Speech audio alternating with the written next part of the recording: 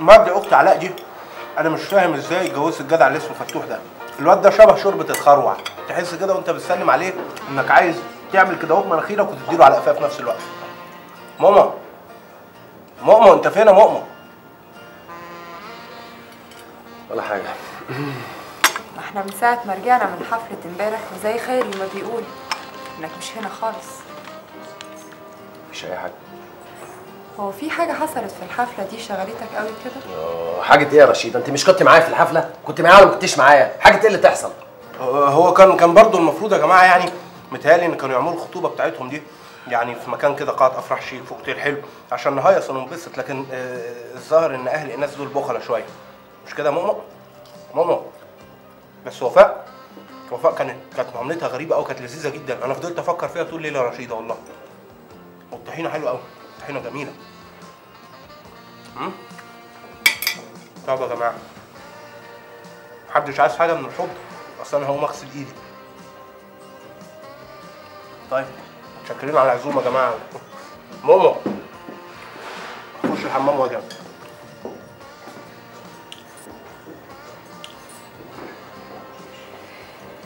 مالك يا مؤنس؟ مفيش حاجة. حبيبي انت عمرك ما كنت بتخبي عني حاجة. في حاجة عايز تقولها لي؟ رشيدة حبيبتي انت ليه متخيلة ان أنا مخبي عليكي حاجة؟ مش عارفة. إحساس. انت بس اللي بقيتي حساسة شوية اليومين دول. انت شايف كده؟ بقول لك يا رشيدة في موضوع عايز أكلمك فيه بس بس في البيت بقى عشان ما ينفعش قدام خيري. وفاء وفاء. انت إيه حكايتك النهارده يا ريم؟ أصلها امبارح يا ماما ما كانتش زي قبل كده. تكونش حاطط عينك عليها عايز تتجوزها. أتجوز وفاء؟ لا لا لا لا صعب صعب قوي. صعب صعب ليه يا اخويا اولا يا ماما هي لسه صغيرة دي لسه طالبة. تاني حاجة هي مش الزوجة المناسبة ليا. تالت حاجة أنا بقى عايز واحدة كده تكون واحدة يعني. واحدة؟ واحدة إيه؟ قلقتني عليك يا ابني. ها؟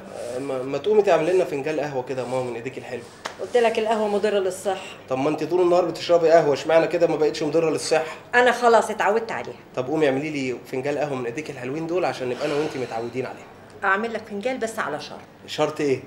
أحط لك عليه لبن. بلاش قهوة يا ماما. القهوة مضرة بالصحه بتعمل ضربات قلب بتفقع المرارة. وأنا خايف أتعود عليها. بقول لك إيه يا راجل أنت؟ مالكش دعوة بيا خالص. أنا حرة وأعمل اللي أنا عاوزاه. يبقى هتيجي على دماغك. 100 مرة قلت لك ما تحشريش نفسك في اللي مالكيش فيه. وانت ما تحشرش نفسك معايا انت فاهم؟ اللهم طولك وروح. بس بس بس ما أروح أشوف مين اللي على الباب؟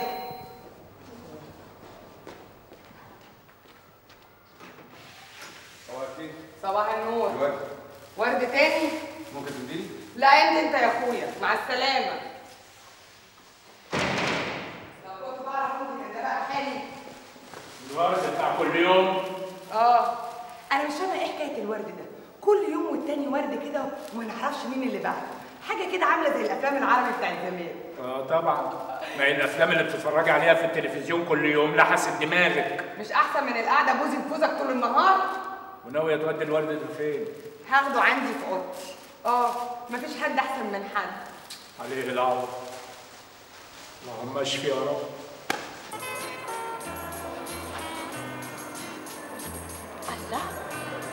بتبصليش ليه؟ هو انت لسه زعلان مني؟ وأنا أقدر ازعل منك يا ناس. اللي يحب ما يزعلش. عشان كده انت لازم ما تزعليش مني انت كمان. أنا مش زعلانة منك. بس وحياتك عندي انت ما تزعلنيش قولي لي بقى هي الماديات بس اللي ممكن تربط بينا؟ علاء أنا مش عايزاك تفكر في المسألة بالشكل ده. انت أصلا لو ما كنتش عاجبني من الأول ما كنتش قبلت إن أنا أرتبط بيك. بس أنت حبيبي شوية عايش في الأحلام وأنا مش عايزاك تعمل كده. أنا بجد نفسي مع أعيش مع الإنسان اللي بحبه وأنا سعيدة.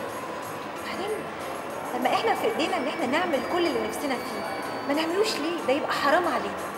أوعدك ان أبذل كل جهد ان احقق لك كل اللي نفسك فيه. وعشان أطمنك نازلي هانم رجعت من السفر امبارح. وأول حاجة عملتها اتصلت بينا في المكتب عشان تحدد لنا ميعاد نروح بقى عشان قلقك بس يروح. اتكلم بجد؟ ما انت في أجازة. مش دريانة. ما تعرفيش آخر الأخبار. انت مش هترجعي الشغل بقى. أنا مش عارفة أنت مستعجل ليه عشان أرجع الشغل. هو أنا يعني قاعدة متستتة. وبعدين هو مش أنت اللي مش مهندس هو مصباح يعني أنا قاعدة بنفسي واخدة أجازة اولا كونك إنك بقيتي خطيبتي فالمسألة بقت محرجة. وأنا وانت كمان ما أفتكرش إننا عايزين يعني نسمع أي حد يقول آه، إنك اتدلعتي على حس الحكاية دي. أنا ما بحبش أسمع كده. وثانيا انت آه، كده لما تروحي الشغل يوم وما تروحيش يوم يبقى ظلمتيني. ظلمتك إزاي يعني؟ حرمتيني أشوفك كل يوم. كده أنت غلبتني. عموما يا سيدي ما تقلقش. أنا هنزل الشغل من بكرة. بس هلا بقى ما تزهقش مني. أزهق منك يا نوس. أنت لو تعرفي أنت غالية عندي إزاي؟ ما تقوليش الكلام. أنا عارفة. أنا ما حكيتلكيش. الظاهر إن خطوبتنا مش هتجمعنا إحنا بس. أبوكي وأبويا يبقى أصحاب. أصحاب إزاي يعني؟ وعم جوهر ما حكيتلكيش. آه راح لبابا وعرفه على أصحابه عم ربيع وعم فؤاد. دول بيروحوا القهوة بتاعت عم فؤاد تقريبا كل يوم. كده الدور خلص. وريني هتعمل إيه بقى. هو انت يابا كل ما تلعب مع عم حسين طاولة تغلبه كده يابا الزبون كده هيطفش منك الزبون يا أختي قاعد هنا ومثبت أهو. قول لي يا عم جوهر إيه رأيك بقى في فنجان قهوة محول؟ ما بيتعملش إلا للحبايب. لا يا كراميلا يا بنتي. أنا شربت قهوة كتير الليلة دي وكده مش هنام.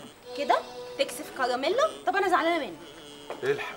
الحق صالحها يا جوهر. لحسن دي زعلها وحش قوي اسألني أنا. الله الله الله الله. ليه كده بقى يا عم فؤاد؟ انت كده هتوقف سوقي. انت عايز الناس تقول عليا بشد شعري ولا إيه؟ يعني حد عبارك يا كراميلا كده؟ طيب بكرة تشوف. الله الله الله. ترى إيه أنتوا بتتخانقوا مع بعض قدامنا ولا إيه؟ يلا كراميل. اجري اعمل لنا دور قهوة من ايديك الحلوين دول. من عينيا الاتنين يا عم حسين يا حبيب قلبي انت.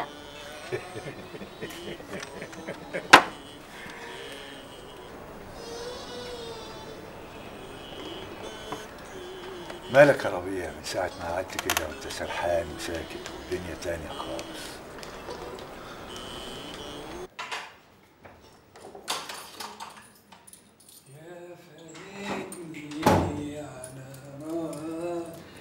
مساء الخير.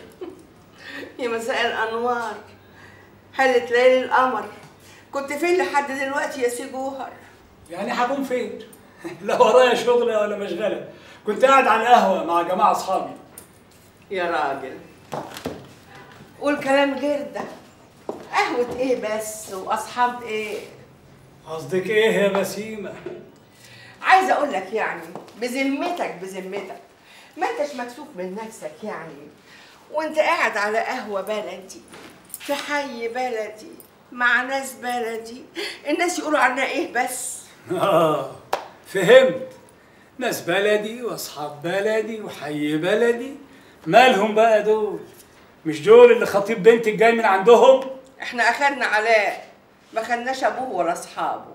واللي بيسألنا عن أبوه بنقول إنه عنده مصنع ملابس جاهزة. آه لكن أنت بقى لما بتقعد مع شلة البؤس بتاعتك عايز تفضحنا الظاهر إنك نسيت نفسك. لا وأنت الصادقة. ده أنا افتكرت نفسي. قلت لنفسي إيه اللي بتعمله في نفسك ده يا جوهر؟ حابس نفسك بين أربع حيطان والساعات بتعدي عليك كل ساعة زي التانية. وزي ما تكون حكمت على نفسك بالإعدام وأنت عايش ومستني تنفيذ حكم الموت. وقعدك بقى مع الأشكال دي هو اللي هيريحك قوي؟ على الأقل بلاقي حد أتكلم معاه. حد بضيع معاه الساعات الطويلة اللي أنا عايشها في فراغ رهيب من يوم خروجي على المعاش. وأنت يعني عشان تلاقي حد تتكلم معاه؟ تقوم تفضحنا قدام كل الناس؟ تعالي يا إيناس. تعالي يا بنتي شوف أمك بتقول عليا إيه. أبوكي خلاص بقى فضيحة دلوقتي. يا ترى أنت الأخرى بتقولي عليا إيه؟ لكن هقول إيه؟ الحكاية مش محتاجة سؤال. الراجل ده هيفرسني. خلاص. عجز وكبر وخرف. هيفضحنا قدام كل الناس.